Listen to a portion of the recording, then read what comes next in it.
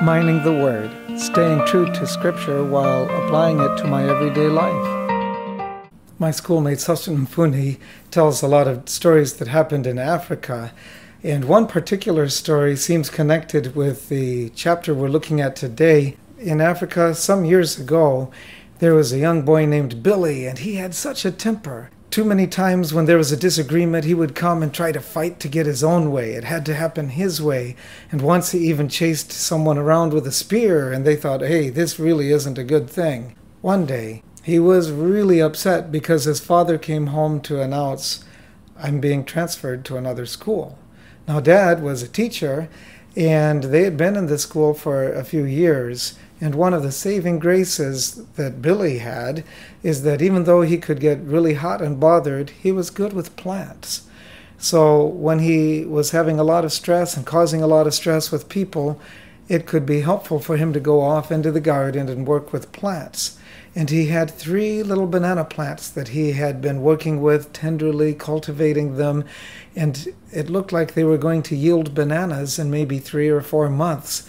He was so excited about this, but when Dad said, We're moving to another place down the road a long way, he began to stew inside. It's not fair. How can we go away from our place? And I've worked with these bananas. I planted them. My hands should harvest them. I should eat them. And his father said, I understand. I planted those peach trees over there, and I won't get to eat the peaches either. But Billy said, but you don't understand, these were my banana plants. No other boy should come and eat the bananas that I worked to grow. And Dad said, By the way, when you say I and mine and all this stuff, it sounds a lot like Lucifer in Isaiah 14, and he became the devil. And Billy said, No, I don't care about Lucifer or anything like this. I just want to know that I get to eat the bananas I worked so hard to grow. And then he went out in a stew. He went outside. Oh, my banana plants, how can I let another? And then a thought occurred to him. I know what I'll do so I don't lose those bananas. I won't let anyone eat them. If I can't have them, no one can have them. He had a plan. Everyone was hurrying and scurrying, packing things into boxes, trying to get ready before the removal van well, they call it a removal lorry, we would call it a moving van, before that would show up. And then one day there was a knock on the door, and his dad answered it, and there was a telegram. Meanwhile, everyone was wondering what's in the telegram. Dad looked at the telegram, and it said, Day after tomorrow, the removal lorry will be here to take all your stuff. Now they really worked hard. But Billy decided this is the time to execute my plan. Quietly, he slipped into the storeroom dipped a cup into the bag of fertilizer, and he dug a hole, exposing the roots of each banana plant. And he put the fertilizer directly on the root. He knew what that would do. Fertilizer helps plants grow, but when you put it straight on the root, it burns the root and kills the plant. And he covered it all up with dirt so no one could see what he had done. Sure enough, the removal lorry came, they took all their stuff, they went far away to another school, and then one day, a year later, Father looked at Billy with a big smile on his face and he said, The teacher who took my place at the other school, he is going to study in America. So I will be going back. We will be going back to our old house. Isn't that exciting? Meanwhile, Billy's heart sank. The old house? The house where the banana trees are? Or the banana plants rather. I hoped that they survived somehow, but I remember the day we left already the leaves were starting to get brown. It looked like I was succeeding. Well, again, the removal lorry came and took all their stuff back to where they used to be. And as they came into the yard, everyone so excited to see their friends. Well, mom and dad were excited, Billy's twin sister was excited, but Billy was worried. And sure enough, as he walked in the backyard, he was horrified to realize he succeeded in his ugly plan from before. Then he felt a hand on his shoulder, and Dad said, What's wrong? Where are the banana plants? And Billy said, I have something to tell you. Well, Dad was very disappointed that Billy would do such a thing. Billy was disappointed he'd do such a thing. He could be eating bananas he could have had the joy of, a, of the bananas that grew the year after, and it would never be. he decided he would find some little shoots to start new banana plants again, like he had done for the ones he killed. And he realized that day when I insist on my way, it has to happen for me, and I'm the most important. That's when things go sour. And he began a trip in a different direction, a direction where Billy didn't have to be a selfish, mean spirited person, but he could think about others, like his father, who planted peach trees, though he thought he would never eat the peaches himself. Welcome back to Mining the Word. But before we jump into our chapter for today, let's pray. Lord in heaven, please guide us as we dive into Esther chapter 6, that we will learn to be not like Billy, how he was, but Billy, how he became. And we will truly build our lives on Jesus' way. In his name I pray. Amen. Come with me to Esther chapter 6. We left off with Esther 5 last week, and we noticed that this is a bit of a turning point, but we'll start first with verse 1. That night the king could not sleep. What night?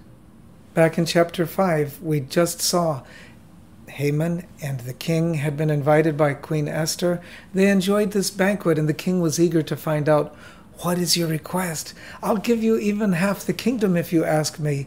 And she said, My request is that you all come back, you and Haman come back to a banquet tomorrow. Well, the king knew it must be so serious if she keeps delaying a little bit more. Well, meanwhile, even though God's name is never mentioned overtly, and back in the end of the message on chapter 2, we saw it's actually hidden four times in Hebrew, that's another story, but we see it's hidden in every language it's translated into in this way. Instead of saying the word, the story is described in a way to show there's a power, God, at work without naming him. Just like we don't see a cloud in the day like Israel did in Exodus 13, we don't see a pillar of fire at night like they did in Exodus 13. In a similar way, these people didn't see that stuff and they had to pray and act. They had to do things that they believed God would want them to do and then try to look for him to nudge one way or another. This is right, this is wrong, just like we do. And so we come to verse 1. That night the king could not sleep, so one was commanded to bring the book of the records of the Chronicles, and they were read before the king. He's tossing and turning. In Hebrew, it says that sleep fled from him. And as I see this, it looks like it's something outside the king's control. He has he thinks he's in control of everything, but even his sleep he doesn't control, and he's asking people to take care of things. He's calling for the records. Meanwhile, Haman, we know from the last time, Haman has built this impaling pole. They call it a gallows in most translations in English. It's actually for impaling the victim. And he's eager. Tomorrow I'm going to ask the king, and I'll put Mordecai up there, and I get to see the end of my enemy we see down to the finest detail God has lined things up. Verse 2. And it was found written that Mordecai had told of Bigthana and Teresh, two of the king's eunuchs, the doorkeepers who had sought to lay hands on King Ahasuerus, or as the Hebrews called him, King Ahasuerus.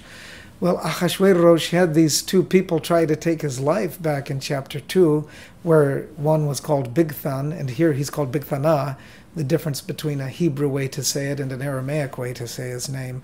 But anyway, this reward that should have gone to the one who saved the king's life, we noticed it was really weird. Mordecai arranged saving the king's life in chapter 2, and in chapter 3, the king honored Haman. And at that time, Mordecai may have wondered why would God let this happen? Why would God allow someone else to get the credit, to get the glory, to get the promotion, and yet I did something? God had a really good reason for doing it that way. If Mordecai had been honored back then, there would be no way to save the people of God here. But notice how God works by the delayed honor. Verse 3 Then the king said, What honor or dignity has been bestowed on Mordecai for this? And the king's servants who attended him said, Nothing has been done for him. Right away, we see three things that line up I think they're more than coincidence. One, the honor has been delayed until the exact minute it is needed, the night before this man should be executed. that's the night that he's going to be honored. And in fact, point two, there seems to be a search that's ordered because the king isn't just hearing random stuff. Apparently, they're searching, finding where is this thing. Maybe even it's a sympathetic eunuch who's thinking, wait a minute, we are frustrated that the wrong person's getting honor and the one that we can trust is the one who's now in great danger and it looks like Haman's ready to kill him. And then number three, the orchestration of the exact moment of Haman's arrival. But let's look at that in verse 4.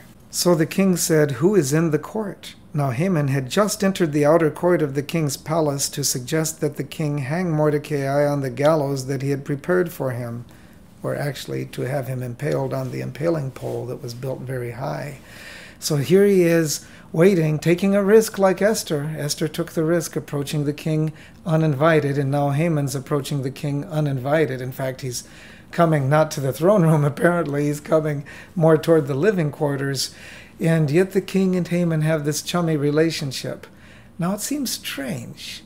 The king who has been very friendly with Haman and very happy to let Haman arrange killing all the Jews, including Mordecai, all of a sudden is interested in honoring Mordecai.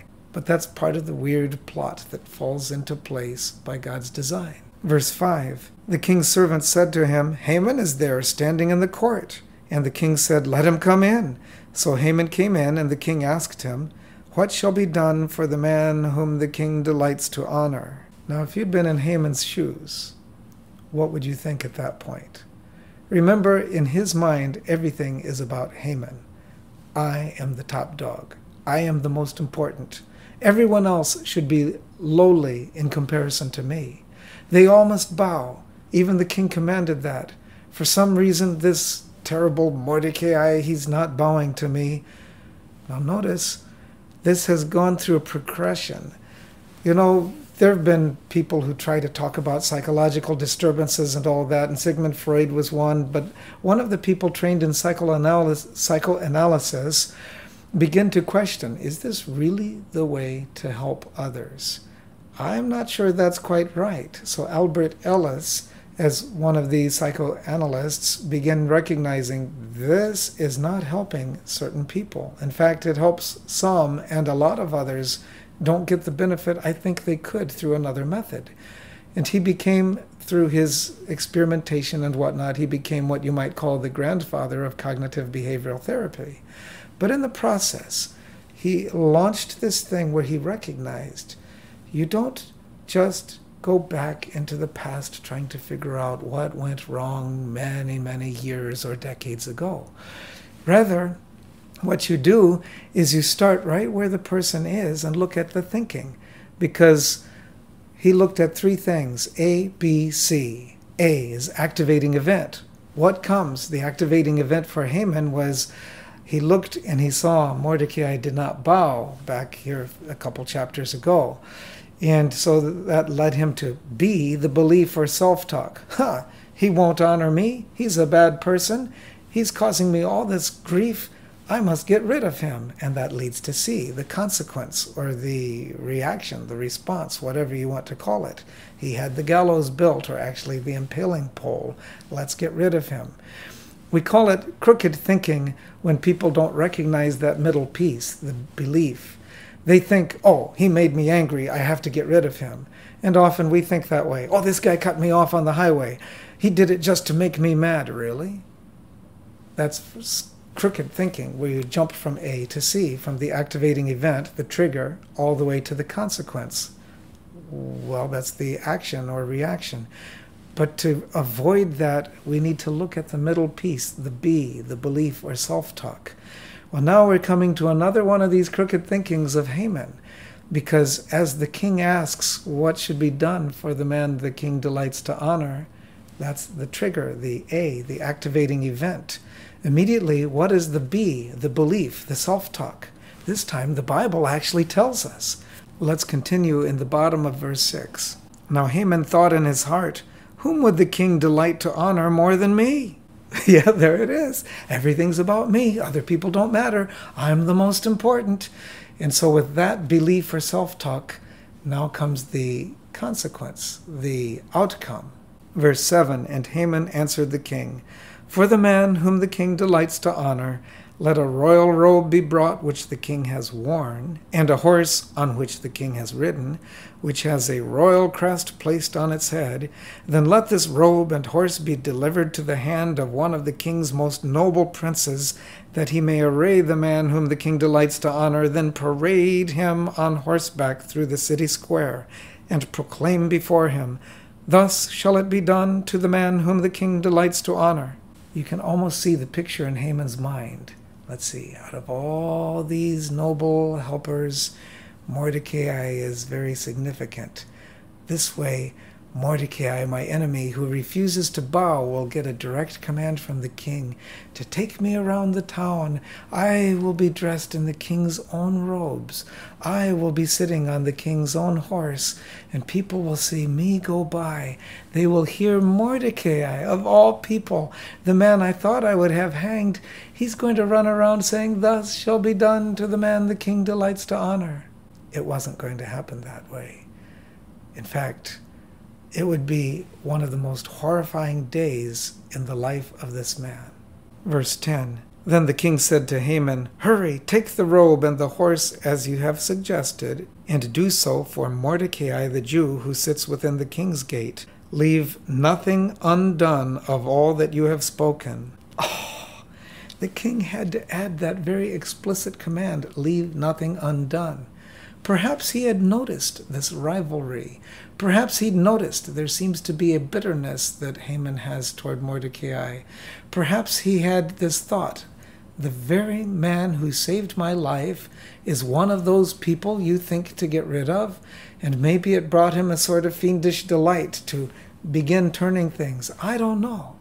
But I do know that this was orchestrated to perfectly line up the moment Haman came to ask, May I have permission to kill this guy? is the moment the king is ready to find out, How can I honor that very person? God lined everything up perfectly. Verse 11 So Haman took the robe and the horse, arrayed Mordecai, and led him on horseback through the city square, and proclaimed before him, Thus shall it be done to the man whom the king delights to honor. Can you imagine what that did to Haman? when a person has his whole life revolving around self, a very deep rooted selfishness, then something like this would be one of the most horrible things you can imagine. But let's take it one step beyond. This wasn't Western culture, this was Eastern culture. In the West, we are more concerned about innocence or guilt, but in the East, they're more concerned about shame or honor. So, for an Eastern person now to be required to honor the one that he loathed would be one of the most horrible things you can imagine.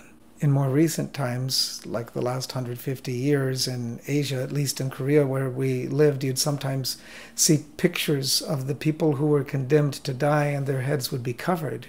It was part of the reality. You're facing the shame of being executed.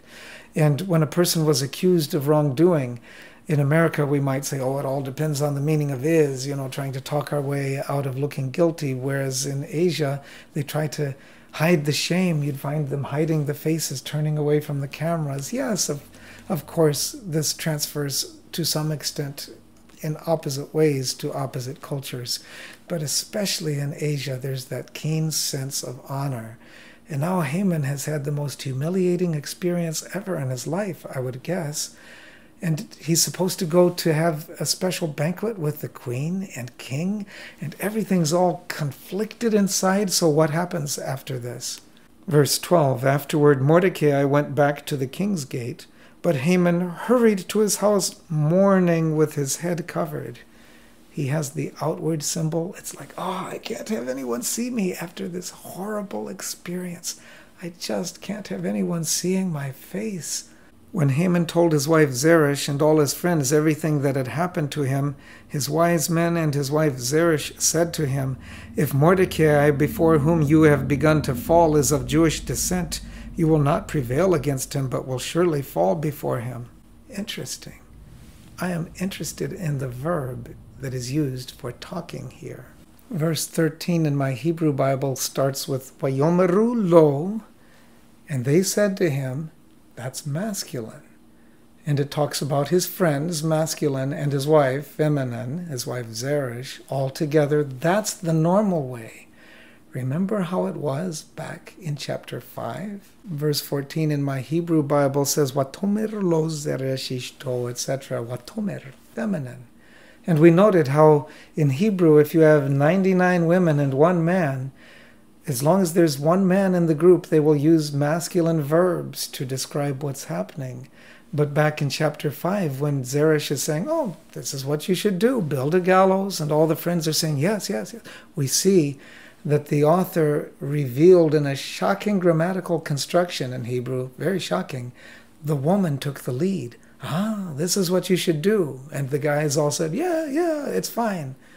But now, when things are falling apart, we see the guys taking the lead and they're looking and saying, This isn't good. If it's going this way, you are on your way down the drain, basically. And perhaps they were aware of such things as 1 Samuel 15 or Exodus 17 or other places that talked about the total destruction of Amalek because Haman was an Agagite, maybe a descendant of King Agag that had gone against King Saul, and Saul was supposed to wipe them all out. Anyway, that's another story from 1 Samuel 17, uh, 1 Samuel 15. But now he comes to the moment when his own wife and friends are saying, It's over. It's not going to end well. You are beginning to fall before him. Verse 14 while they were still talking with him, the king's eunuchs came and hastened to bring Haman to the banquet which Esther had prepared. Yes, important people would be escorted, just like we see Joseph's brothers escorting Benjamin to him way back in Genesis, as finally they're bringing him back after all these 22 years of separation. We see again and again in, in the Bible accounts about the important people being escorted in. And so now he's being escorted. Come, come, hurry, it's time for the banquet. Oh, the confusing, conflicted thoughts that must have been inside his selfish heart. This is the worst day of my life. Yesterday I was bragging. Only I am invited with the king and queen for this banquet. And today I feel like trash totally humiliated.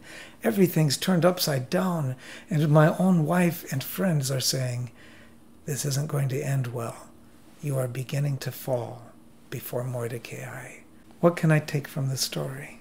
Well, I would take two things. One, a major point, and another, a corollary, which may be more practical for your week to come. Proverbs 16:18 says, Pride goes before destruction, and a haughty spirit before a fall. There was Haman with his haughty spirit, so proud, it's all about me. Everyone else must be below me. You can be certain that it will happen. Even though it might not happen right away, you can be certain it will happen. The destruction will come. In fact, that grammatical construction, when uh, the friends of Haman and his wife Zeresh say, you know, you're going to begin to fall before him. They use that that same grammar, just like Genesis chapter three, when God said, "If you eat of this," well, He said it in chapter two, "If you eat this fruit from the tree of knowledge of good and evil, you will certainly die." And Eve quotes that to the serpent in chapter three of Genesis. And now that same grammar, different vocabulary. It is certainly happening. You will fall before Mordecai. So that's a primary point. When pride is the thing that functions in my life, when that is what guides my decisions, I will fall. But there's a secondary point. Remember, we looked at that ABC way of thinking. Instead of just jumping from, oh, you made me do this. No, that's not true. No one made you do anything. Person can trigger the activating event, the trigger, and it doesn't jump directly to a consequence of your bad action. In between is the B, belief or self talk. Like Haman saying, Who could be more needy of honor than I? The king would certainly want to honor me. That was his self talk. Or earlier, the self talk about, Oh, Mordecai is just doing this to get me upset. And that led to the consequence of him going out and having the impaling pole erected near his own house when we have the bad thinking, it leads to bad actions. When we have the incorrect thoughts, it leads to incorrect outcomes. But there's hope. We can actually go back and have a letter D, the dispute. Wait a minute. Is it really true? Is it really true that I'm the one, the only one the king would delight to honor? Maybe I should be careful. Might be he has someone else in mind, you know, or back with Mordecai refusing to bow. Is he really doing this just to get me upset? Or might he have a faith that makes him faithful? And I should respect that. When we don't have that dispute, we just run from A to C, from the activating event to the consequence. But that B, the belief, is what gets me there. And I can come back and dispute that false belief. And then I get an E, which is a different experience, a different event at the end. It turns into a better way. I want to challenge you in this secondary way. Well, first, the first way let the Lord deal with pride in your heart. Don't let that be a guiding principle in your life. And number two, think carefully. When you are feeling some kind of emotion, go back and think what did I tell myself about that thing that happened? It may be I need to change what I'm telling myself. It can happen in a good way. It reminds me of Jesus. Only Luke tells this story in Luke 23 as they were pounding nails in Jesus' hands and feet, what did he say? Father, forgive them, for they know not what they do. What? They knew what they were doing. They were paid to kill people in the most painful, humiliating way possible. They did that very well. But they didn't know. We are pounding nails into the Messiah. We are pounding nails into the one who is dying to save us from sin. We are pounding nails not from our own hearts, but from the instigation of the enemy, the archenemy Satan, getting us to do what we would never do if we fully understood what was going on in life in this day, at this time. And in a similar way, we are able, like Jesus, to reframe this. He reframed it as they don't know what they're doing. They're doing their job, but they don't realize they are causing suffering for one who has come to save them. And I can reframe things and when I change my belief about what that other person is doing and why he's doing it, it can change my reaction, change my response, change the way I deal with other people. I know there's a whole lot more that could be explored there, but I'll leave it at that for today. Let's pray. Lord God, thank you so much for caring about us personally. Thank you for engineering things to save the life of Mordecai and eventually his people too. Please guide us as we go through experiences that tempt us to act selfishly, that we allow your Spirit to empty us of self and fill us with you. In Jesus' name I pray. Amen. God bless you as you continue mining the Word.